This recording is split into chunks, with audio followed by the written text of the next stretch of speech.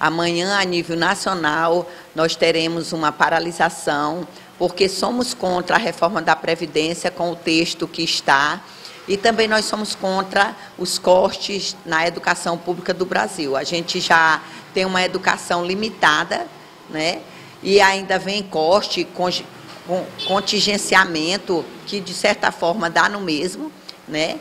E nós, enquanto servidores públicos municipais, nós não podemos ficar de braço cruzado. Então, em atendimento às nossas convocatórias das centrais sindicais, FETRAX e Força Sindical, nós, Sindicato dos Servidores Públicos Municipais de Pedreiras, iremos, iremos aderir à paralisação de amanhã, juntamente com o Sindicato de Trisdela do Vale e o Simproecema, também nós temos conosco o Sindicato dos Trabalhadores Rurais de Pedreiras e outras entidades. E o momento é de convocar toda a população para se juntar conosco, aqueles que são contra a reforma da Previdência, aqueles que são contra os cortes na educação pública, que estejam conosco. E a gente respeita também aqueles que são a favor, mas nós pedimos também que sejamos respeitados, porque vivemos em um país democrático onde eu tenho a liberdade de expressão para fazer aquilo que eu sou contra.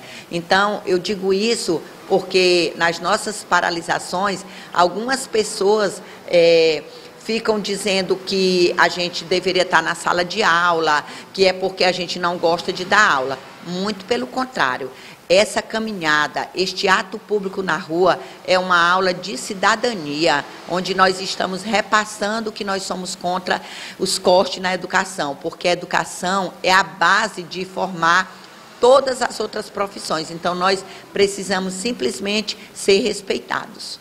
É, na opinião do sindicato, é, esses cortes na educação vão afetar principalmente o futuro dos estudantes. E para o sindicato, qual a importância da participação também da classe estudantil nesse movimento?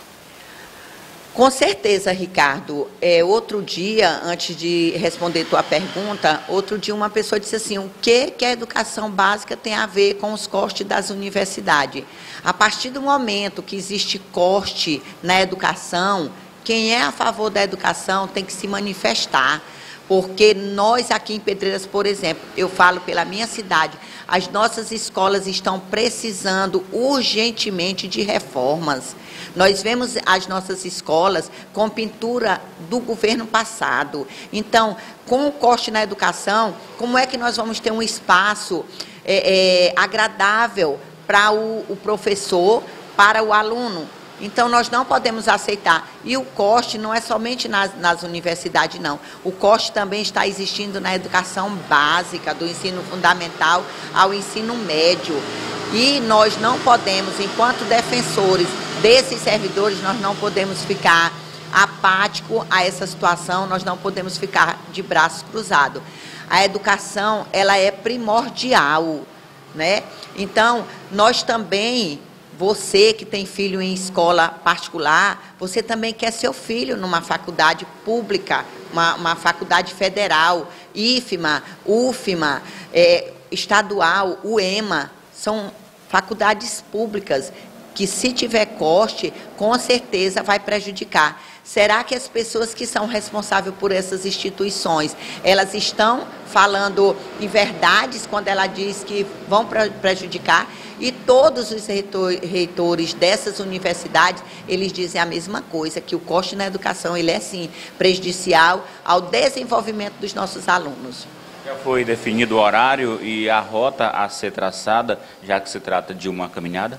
Sim, nós temos uma caminhada amanhã, como eu já frisei, acontecerá é, em frente ao Proconta a concentração às 8 horas da manhã porque nós estamos junto com o Sindicato de Trisdela do Vale e daremos início em Trisdela do Vale. Depois viemos a Pedreiras, é, daremos uma parada na Praça Correio de Araújo para dar continuidade às falas dos participantes e depois a gente vem até o, o Banco do Brasil para fazer a nossa panfletagem.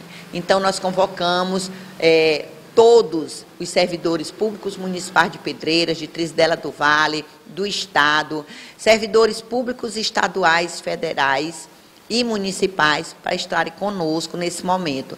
E você também que não faz parte de nenhuma dessas entidades, mas que faça parte da, da, da defesa em prol da educação, cidadão, você também está sendo convocado para estar conosco nesse momento de luta contra a retirada dos nossos direitos.